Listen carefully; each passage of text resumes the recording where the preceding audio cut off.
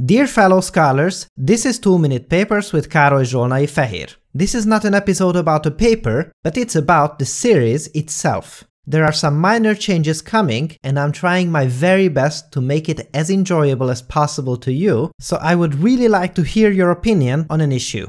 Many of our episodes are on new topics where I'm trying my best to cover the basics so that the scope of a new research work can be understood clearly. However, as we are continuing our journey deeper into the depths of state-of-the-art research, it inevitably happens that we have to build on already existing knowledge from earlier episodes. The big question is how we should handle such cases. For instance, in the case of a neural network paper, the solution we went for so far was having a quick recap for what a neural network is.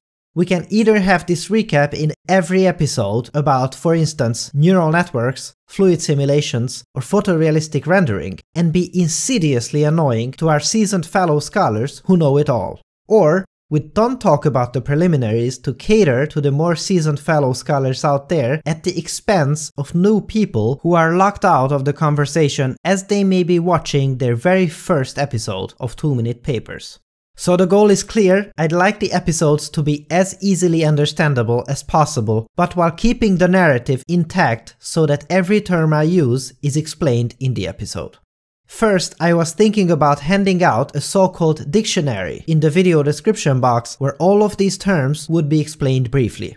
At first, this sounded like a good idea, but most people new to the series would likely not know about it, and for them, the fact that these episodes are not self-contained anymore would perhaps be confusing, or even worse, repulsive. The next idea was that perhaps, instead of re-explaining these terms over and over again, we could add an overlay text in the video for them.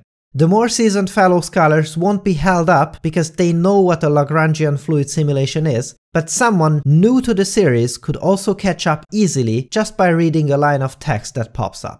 I think this one would be a formidable solution. I would love to know your opinion on these possible solutions. I personally think that the overlay text is the best, but who knows, maybe a better idea gets raised. Please make sure to let me know below in the comment section whether you have started watching 2 Minute Papers recently, or maybe you're a seasoned fellow scholar and how you feel about the issue. Have you ever encountered terms that you didn't understand?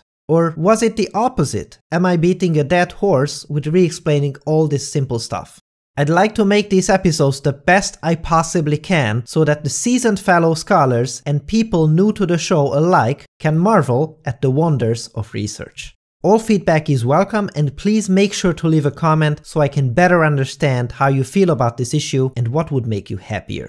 Thanks for watching and for your generous support, and I'll see you next time.